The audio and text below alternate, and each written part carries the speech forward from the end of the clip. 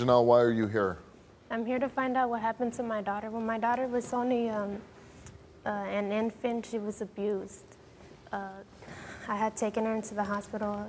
She had a life-threatening head injury. She had a few cracked ribs, and I believe it was her father.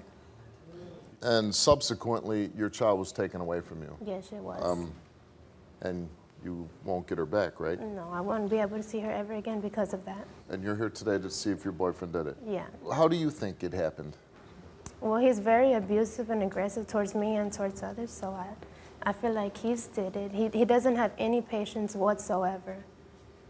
And when this happened to your daughter and you were with him, how did he say the injuries happened?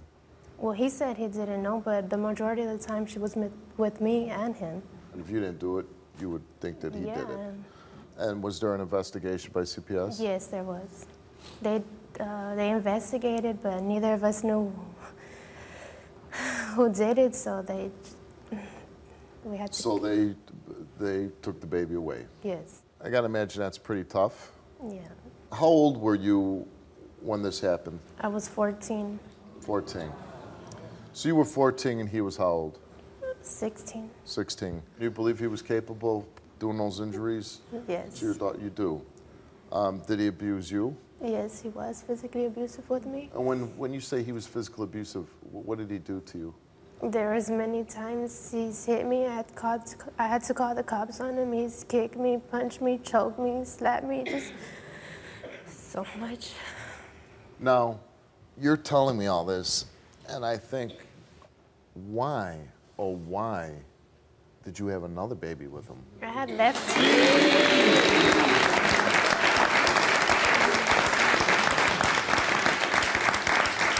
I had left him before I found out I was pregnant with the second child. So you're not with him now? No. Okay. And you're. And now you're raising this daughter By myself. by yourself. Has he met his daughter? His Yes, daughter? he's seen her, but every time he visits, he doesn't stay more than 20 minutes because she, she's, she's not used to him. She cries, he's impatient, he yells, and he just takes off. What are you hoping to happen today? I just want to find out what really happened. I hope he didn't do it, but if it is, he's not going to be This in her life. This is your daughter now. Um, this is the second daughter. Yes. He took a lie detector test and um, obviously passes. That gives you some clearance of mind that he didn't do it. Um, but if he fails, then you pretty much know why Yeah. your daughter was taken away. Uh, he's now with uh, somebody else, and he had a baby with that person, Yes, which at 19, wow, three kids. Three kids. Let's bring him up. There's Rolando.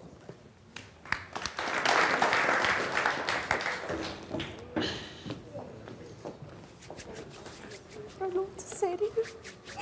Janell, you took a lie detector test before the show, Yeah. and let's read your, your results. Have you ever physically abused your oldest daughter? You answered no. You told the truth. Did you cause any of the injuries that your daughter had? You answered no. You told the truth. So you didn't of that. Um,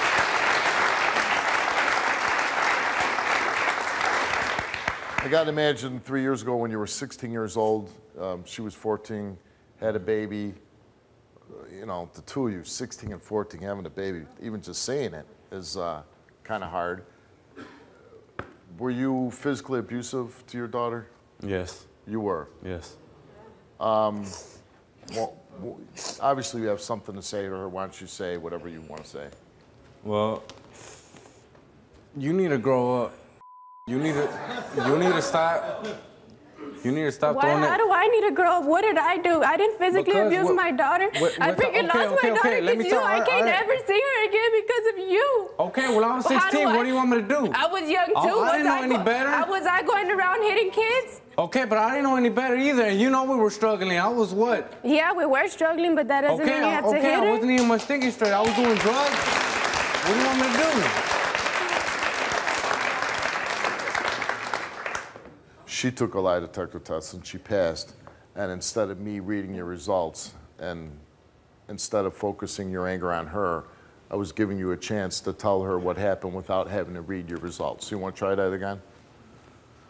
Well, Remember those days when you when you went to school? You left, you left her, me, her, and your other family member. Yeah. Well, those days they were pretty hard because you left her with me, and I didn't. You know, like you said, I don't have any patience. Yeah, I don't, but at least I tried. All that fussiness, all that crying, and all and all the other stuff that's going on in my life, all the that everybody was giving me, it was too much. All that built up inside of me, and I took it out on her. You took your anger, you took your frustration, uh, you know, 16 year old boy, you know, basically beating up a baby, knowing that this baby was of your blood, your child, your daughter, and knowing that you'll never see her again, that she'll never be a part of your life. I regret all that stuff. I didn't know what to do. I was six. I didn't know any better. I had. No, I know, I know at the time you didn't know, but I'm saying now that you're 19, you have another child with her, you have a child with another That's woman. That's why I'm here to confess to her, so she can earn how to trust me and let me, you know, let me What be a part. you do? Let me be what a part can you of her do life. to show me that, like, I trust you? You don't. You don't do anything. Cause you don't let me. What I you get you get mad over the the, the stupidest Tell me- things. tell me something and you stupid throw that it in I my face. I'm not gonna let you. Okay. I'm not. The fact is, I think she wants to hear from you why, what you exactly did to the baby that the baby got taken away. I think you owe it to her. Um, I don't think now is to point the fingers because the baby's gone already. So pointing fingers at this point is not going to help. But you did confess, and I could go over there and read the test. But why don't you now tell her what you did? I punched her, I shook her, I squeezed her. Want to hear this? How in the world would this young girl ever trust you again? You know what I mean? I don't know.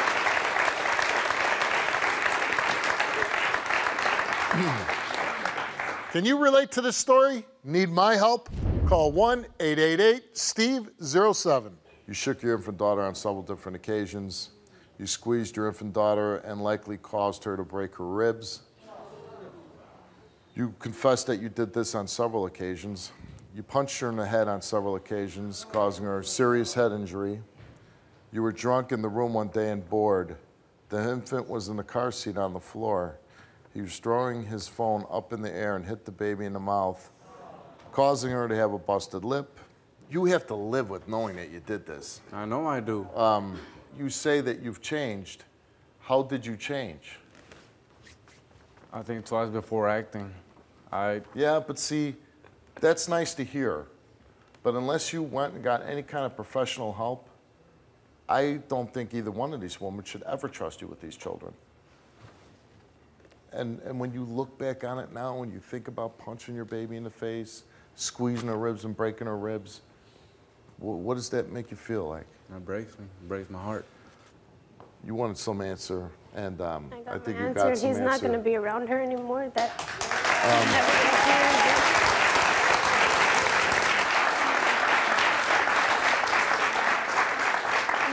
you know, for two years uh, you denied this. You're finally coming up to the plate and you're stepping up and admitting it. I think that's a step in the right direction. She deserves that from you. And this is advice to you, advice to you, and advice to the other woman you have a child with.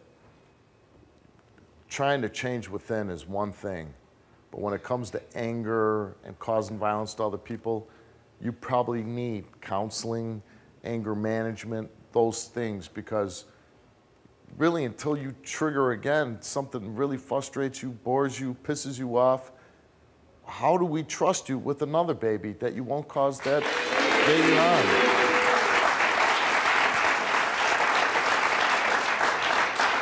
I mean, I could scream at you right now. I could, you know, talk about how I'd love to kick your ass and throw you in jail.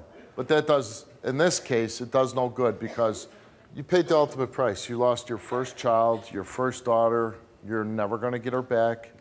I hope that stays with you for the rest of your life. I hope that you climb whatever mountain in your life that you have to to make sure that you never abuse any more, any more of your other children.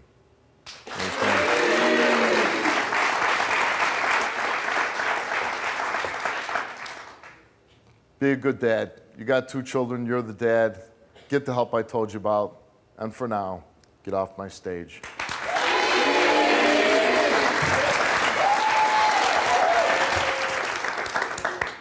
Being 14 years old and being a young mother, I think you're probably too young to know how to protect a child and be in that situation.